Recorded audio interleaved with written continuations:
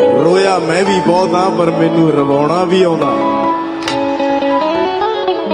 ਮੇਰੇ ਬਾਰੇ ਨਾ ਬਹੁਤ ਲੋਕ ਮਾੜਾ ਚੰਗਾ ਬੋਲਦੇ ਆ, ਪਰ ਡਾਰਲਿੰਗ ਇੱਕ ਗੱਲ ਸੁਣ ਲਈ, ਜੇ ਮੈਨੂੰ ਸੁਣਨਾ ਆਉਂਦਾ ਨਾ, ਮੈਨੂੰ ਸੁਣਾਉਣਾ ਵੀ ਆਉਂਦਾ।